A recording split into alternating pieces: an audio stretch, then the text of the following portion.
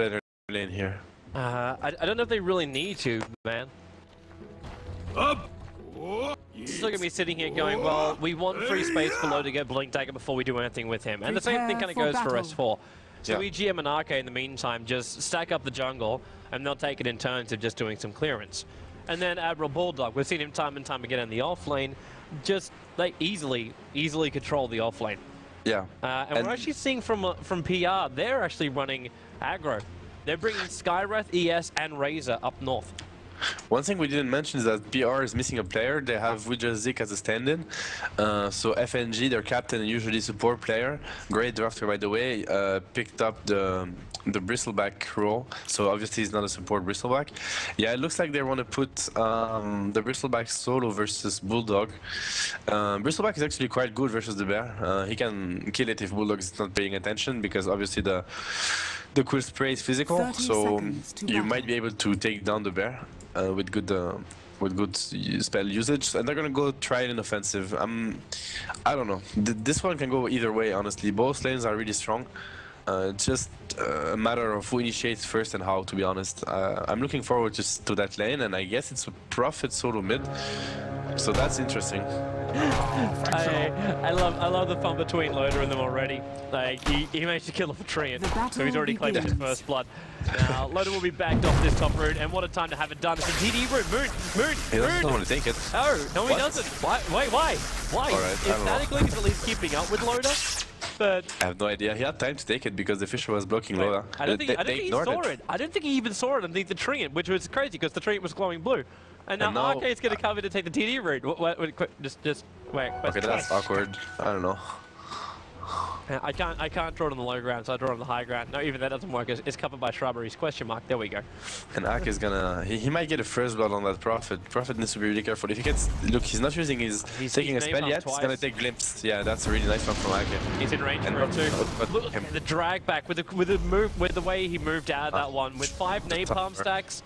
Is Oh, PR gonna be really sad about that whole DD rune.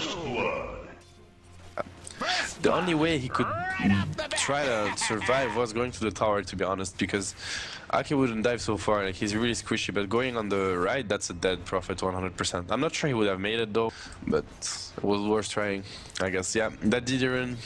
Pretty sad for PR. I don't know how they didn't see it. Yeah. Loda did. I'm not sure. Loda definitely did. The funny thing is too, like Loda also decided not to pick it up as he went back. But see, he walked straight back over the top of it, but, but to do it would have taken like a fraction of a second longer to get away from the Razor. Yeah, he didn't want to risk it, which is fine. I mean, he's not gonna turn in auto attack them anyway, so Yeah. Was was um, was good decision making from him, I guess. The the thing is, I'm watching this Bristol back a bit, and he's I, I don't think he's gonna win his lane at all. Like right now, he's yeah, he's not doing so well on his lane. He's almost out of mana already. Like he's harassing the bear sure, but doesn't like Bull, uh, Bulldog's micro will never he will never let his bear farm. He's like his best buddy, so no way he's letting him down. Yeah. And Admiral Bulldog's under no pressure anyway, so resummoning his bear isn't going to be much of a problem for him. Yeah, it's been a while since we've seen him on a one versus one lane, which is, I mean, not, I don't want to say easy for him, but his it's a Laundry versus uh, Bristleback, so it's not gonna be that hard. C compared to what he used to fight up against, like, Yeah, like, when you usually everybody wants to shut him down. Yeah. And like, there's no there's no smoke rotations to worry about either. Like, the only thing he's going to worry about is Nature's Prophet TPing in to gank him. But right Yep. now, like, Cheshire Cat just having a hard enough time battling up against S4. Yeah, yeah. I don't, and anyway, he has tangles, and like they have nothing to, to you know, slow him or stun him. As Bristleback didn't take Goo yet, so yeah. The, talking about this Nature's Prophet, like he's really struggling versus S4 right now. I mean, he has okay last hit, but you can see that S4 pressures him quite quite a lot. Mm-hmm. I mean, S4 doesn't have that much uh, that much hit, but since he got first blood, it's still okay. You know, he's gonna get a good timing on his Blink Dagger. And and considering it's Batrider anyway, we don't really have to care that much about last hits so early on. Yeah, Like his base exactly. damage was completely utterly shattered. Um, Yep. One thing though which I kind of want to look at, just as I'm waiting for Moon as well as we just stick to back up a little bit further, uh, is Loda actually coming over? Yeah, he's coming over. He was considering the collapse, but now he just gets static linked up and he instantly has to run away. With concussive shot, they can actually get a nice long duration on that, but there's nothing Mm-hmm. more. Uh, but the, Yeah. stack, the stacks wise, like there's currently two sets of Alpha Wolves and a set of and a set of Centaurs, but no camps are that's being cool. stacked up yet from Alliance, which for me is surprising. Yeah, it's a bit surprising, although the top lane doesn't require that much. Oh, I mean, Loda. they just need levels on Loda. Yeah, he wants to go. Man, if, if EGM has Shackle, I would have thought maybe it'd be possible, but he went Wind Runner Oh, that's uh, a really good one. yeah. That's a really good Fissure. That's first blood. Awesome Fissure. Well, well, it gets to be our second blood, and it's all about creeps as well. Oh yeah, sorry. Yeah, yeah, that's second blood. My bad. Yeah, that's that was an awesome Fissure from Shaker, and you, that's the ward. I'm not even sure the ward get vision of it. Actually, I think there's the creep. But yeah, well, as you said, I think it would be worth it for Alliance to stack because what they need in that in that game isn't items. I mean items. They just need good timing on Batrider's dagger and level six on Loda. That's what they need, and then it's gonna be really oh, troublesome. He's diving in so deep right now. He oh, comes Oh, yeah. the tree line. Makes Cheshire Cat to run himself around. But he's trying to bring down FNG, and he's got him. The trees are actually body blocking him up long enough that Admiral Bulldog can get the last hit in. Now Cheshire Cat, the bear, it kind of needs an entangle to make sure that Cheshire Cat gets away from Bulldog, Radiant's who runs on another tower tree, is under pulls the bear in. First hit, can't get it, and now he's actually got level Bulldog. 6 as well. So Ultimate Form survival. Cheshire Cat sticking with it, but Admiral Bulldog's got nothing left. He's got 1,000 gold, he should probably spend some money on, and dodges the attack, and then the entangle into Cheshire Cat. Four life points he dropped down to. The bear's in range again, it needs another entangle to give him some space. There's your attack. He dodges it again with the Ultimate Form. No entangle though coming in the last point, but S4 arrives on bottom lane. Two points for the Napalm stack, and That's what unfortunately for him, he's actually out of mana. He can't firefly himself away from this one. He's going to take it so he can munch through the tree line, but it's Nasal Goo versus basically, uh, well, Sticky Napalm. And looks like Nasal Goo will fly again, but it looks like Bristleback with no warpath, he can't catch up to S4. It's a very What weird and unusual diving. Well, What a play by Bulldog, honestly. And top lane, yeah, they're going top lane. Yeah, oh, no, it's it- it's backed up. They've already done it now. I was thinking like if if if the fissure was coming up cooldown straight away, it'll be a little bit closer, but it was still up. I mean, it's it's a shame that uh, Prophet actually blocked the Bristleback with his treants. I think they would have got the kill on S4 because he, he came there, but he, he had nothing without mana. It was, I, I don't want to say a misplay, but it was really dangerous for him. Oh yeah. The all follows him. We just whoa whoa whoa! We just think What is this? Radiant's Uh, yeah, middle he tower wanted to he's, get. not he's not blocked by the fissure though. Like, Yeah, they'll- he wanted to get one extra, you know, um, arcane on. Oh, the Prophet ultimate not bouncing on Akke. He was so lucky. Or did, or did he bounce on him? No, he Um, didn't. It hit the he creep right right next to him, then bounced up And he towards got Bulldog EGM. somehow. Loaded now TV bottom lane. He gets a clap on FNG. Unfortunately He's for not Loda, six. the tower's not taking any damage onto the Bristleback. Yeah, and he's not level 6, so there's no split available. I mean, everything is going. Uh, it should be going middle well for. Look at is the. attack. That's the bulldog dive. You see the wave for, for them, and they have trouble because they have nothing to outpush. Um, they need the S4. There, He's uh, coming. he's, he's going there now. And he just picked up a regeneration rune as well, so Loda goes for the clap. He needs to Firefly out most of this creep wave, Yeah. however, before the tower can do anything. It looks like, whoa, S4? Okay, he comes in, they just make sure they deny up the tower. been. So they let it go. FNG's gonna be pushed back here. He's actually three napalm stacked up, but there's no mana for the lasso. Now there is. He actually has two stick charges still available too, and there's your lasso. Loda's got another clone available. He's waiting to get in front of FNG. So they bring down the bristleback. Should also point out too the fact that EGM was able to survive up, up, up on the top lane. This was probably like 30 seconds ago, but he was Yeah. on like maybe 10 life points running away from PR, but still managed to survive. That's a good kill. The Bristleback is really, really shut down. That game, you can see that he has 15 last hit to his name, which is very little, and he's 0-2 now. Although he got a tower, but that was denied. Uh, so yeah, the, the the game should be going well for Alliance. I mean, they're they're giving kills uh, on the top lane, with the- which they shouldn't, in my opinion. Uh, they can just play safe with the heroes they have. They have glimpse if they dive really far.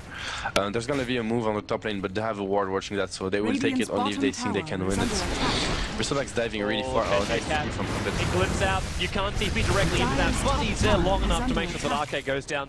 But there's Bulldog. Radiant's bouncing through, and Admiral tower is Bulldog, he doesn't want to summon up his bear at the moment. He's just gonna basically accept his own fate. The Fissure, the Seal, and four heroes moving in from Power Rangers.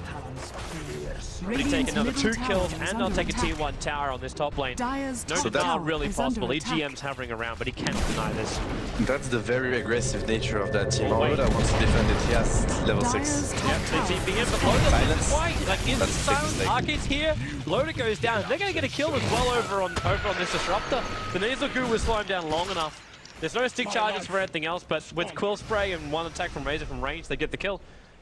Yeah, that's some really sloppy play from Lions, I have to say. Um, the thing is that, yeah, Loda should have instant split if he wanted to, like, especially because the Skywrath is maxing silence, which is fine. I mean, now he has 5 seconds silence. It's really huge. And the Lions have nothing to protect Loda when he's being silenced. It's not gonna be... I mean, they will have the Aesthetic Storm, for example, later on in the game, but Ak is not level level 6, so they have no defensive spells whatsoever. It's not... Whereas PR, they have Shaker, you know, some counter initiation, which Lion doesn't have right now. Uh, yeah, they gave away two kills in the tower. Um, they, they, still have the better team fight, in my opinion, uh, if they do it right. I mean, the Alliance's lineup is um, is really, how to say, built to play around the Druid, at least the way they use him. They can 4 versus 5 without any problem, because it's going to be Batrider catching one guy, they kill, they burst him down, and then they split on Panda. And they can, you know, maybe even win some fights if they have good positioning, or when Bulldog, like, uh, during the time Bulldog's farming. So that's They're going to be Alliance game plan. Okay. Yeah. FG, come on, Invis rune. He's looking at him. The Yoshik is too far away. The thing is that they're, you know, they're sitting on the ward, so Alliance has the upper hand for that one, and they have even have a sentry. Yeah. But at the same time, Bristleback is backed up. Yeah, they're, they're, looking at, trouble. they're looking at Razor on the top lane. With three levels up in Glimpse, they can easily just drag him back at the moment. And they're going to need to. Yeah, pull him back into the wall, and that means we're just a little bit too far up right now. And uh, while Brewmaster, even committing the split, Akke is so low oh. in life, 33 life points. He did cop the Prophet Ultimate, but luckily Fib was one of the earlier bounces while in mid lane. S4 being initiated on here. He's going to lasso on a Cheshire Cat, but he needs more help. EGM blending up the power shots, and the tower, whilst not attacking on a Cheshire Cat, it actually goes over to FNG. S4 got dice in the meantime but the play by FNG is allowed to get another kill here in the mid lane up against the Batrider, who's the highest net worth for Alliance. Yep, pretty good play by FNG. He got the power thread switch as well to in, so he had enough mana and then the sticks so he could chase, else S4 wouldn't die. On the top lane, good decision making by Loda to use the split, else they probably wouldn't even kill the Razor. Um, with the Fissure from Shaker, who would have prevented Loda from splitting if he decided to do it. You know, if he hesitated one second extra, uh, a kill wasted. So yeah, good play from Alliance though. Uh, S4 did die. It's delaying his dagger, which is a problem. But yeah, that's what's gonna happen. What happens on the mid lane now? They're just gonna take down towers when the split is on cooldown. So the clock is ticking for Alliance. To be honest, they need Bulldog to have items right now, and he's really, really shut down that game. He has only 40 CS to his name, which he usually has way more. At least I think so. He has three deaths. That's the main problem, to be honest. And because of that, man, like, he, he, he, kind of had to skip the Radiance build. Like, Radiance in this game would have been really nice Dire's for him. middle yeah. tower is under attack. He just can't afford it now, because the, the, pressure being applied by PR too early. Just about, talk about when the Brewmaster holding his count. It's down for a very long time when it's still. And even when it's up and anything can, like S4 getting caught out now here in the middle lane. 10 to 6 already. Yeah. And they will take out this mid town with a Batlight on the sidelines. But the Blink Dagger is taking way too long to come up. They need fighting items now. That bear needs to be able to survive. But getting Nasal Goo up and Cool straight out, they're going to lose this bear as well. The Fissure connects an Admiral Bulldog. He does have a resummon, but they lose a tier 2 tower. The bear's back on the, on the cooldown again. And the attack. rotation's coming to the tier 2 tower in the bottom lane. With a back who's almost yeah. finished up a Vanguard. This team is so aggressive. It's it's really awesome to see them play. Uh, they play so aggressive. Look at them. They're pressuring Alliance a hell lot and they force them to do really stupid mistakes like as when S4 you know just stays behind the tower in range for a, a slow from Skywrath and a Fissure, that's that's a very basic mistake and obviously he's gonna die and he's just giving a kill that he doesn't need to give you know? but that's just because of the pressure. He's fire yeah. flying around but they've already cleaned the tree, off, tree line off there so it's not really gonna be anywhere near effective Fissure Lotus caught out by this one Akke throws out the ultimate he couldn't trap anyone inside the wall now Master will go on Nature's Prophet but he's also got Meg for this engagement so all the damage which has been dealt is going to be turned around. S4, Firefly wears off, he's caught in the tree line. They even seal him up with very good measure. Field into the corner. S4 has got a small little path to freedom, but the Fissure instantly blocks that one down. And now into the tier 2 tower. Power Rangers don't lose a single hero. There is there's very little that Alliance can do to stop this kind of snowballing. Alliance is getting stomped. there's fallen. no other word for that, I'm sorry, but like it, it's 12 minutes in and it's 7.5k gold advantage already, which is huge yep. at that stage. So right now it's just Power Rangers stomping Alliance and with their lineup they can even get rushed and they might be looking to end the game now. Uh, one thing that has to be mentioned is the the importance of that Skywrath pick for them and they second picked it. First pick, I mean, it was their first um, pick phase. Um, the, the Ancients see shield, you know, it, it reduces the magical resistance for for 45%, which is used when you face Razor with max plasma field, when you face Earthshaker, when you face Nature's Prophet. Uh, so it's huge magic damage. Loda doesn't tank anything. He has 1k but two spells at this moment bursting down. So um, it's pretty hard for him to position, and as you can see, he's really far away from Blink Dagger. He he has 24 CS, and he died three times. So now he has 29. That I said he just clapped, but um, yeah, it's gonna be a really hard game for Lions. The, their top farm is Bulldog, but Lone Druid doesn't achieve anything with um, that level of farm. He snowballs after, but you know the midfielder hammer is not gonna change anything. No, it's, it's just a Maelstrom. Like, if there was control, if they even had Basher and Maelstrom together, maybe you'd be a little bit more fearful of the damage coming out from the Bear. But Yeah. the Bear gets destroyed as well, because it tries to stay on the front lines the entire time, and keeps getting Quill stacked into it. And that, was, Yeah. that was like one of the other things I was talking about with Veloda. I, it's, it's happened time and time again. When you pick up a Brewmaster, and then you have like a Bristleback go against you, and you split. And I've seen it in the later portions of the game where it's actually better to stay in your initial form as opposed to split, because you lose your splits almost like in the space of 5 to 10 seconds. Yeah. That, that's how long it takes. But the quills just rack up, and they just lose the, the life points just so tower is quickly. Now look at attack. Yeah, it's true. FNG. He's got himself a Vanguard, he moves the front lines, he's taking up the tower. He just doesn't care at the moment. Hilarious thing is too, Razor still doesn't level up his ultimate. Like he's about What to a- crack level 9, hasn't even got it yet. And He's doesn't probably need it. waiting for his Aghanim's to level up that. Dire's What's really, you know, has weird from. Alliance is that they just stay five behind. I mean, no Bulldog moved, but they are five behind the towers. it's like Radiant's they, middle tower is like under sure, PR has a great team fight, but their pushing power is decent. They will take down the tower. I'm not denying that, but it's not like they take they, they take it down in, in a second or you know in two or three seconds. So Radiant's Alliance could be, you know, at least under have attack. Batrider try to farm his dagger somewhere else in there in the uh, enemy's jungle or something. He's trying to force a solo kill right now. He has hit this Nature's Prophet six times with the bear and couldn't get a single entangle. Seven times with the The bear. S4 is coming Eight up. times with the bear. And now he's actually going to get a stomped out. Yep, turns around. That's nine, ten attacks. Still hasn't got himself an entangle. 11 attacks now. He's got, Got one. it. He got it on the 11th. And that's going to be S4. But he's stomping it down. He's still got Echo Slam if he really wants to use it. And with the stomp, he's actually locked him in the corner.